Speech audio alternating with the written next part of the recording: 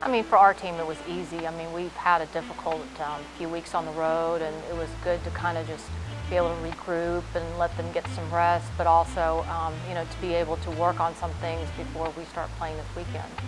It's going to be exciting for them. I think they're going to be relaxed, and um, I think for them just to get some confidence, um, you know, playing on their home um, home turf, and um, you know, just being able to compete again because this team loves to compete. So um, just getting back into the routine of competing again, I think will be exciting for them.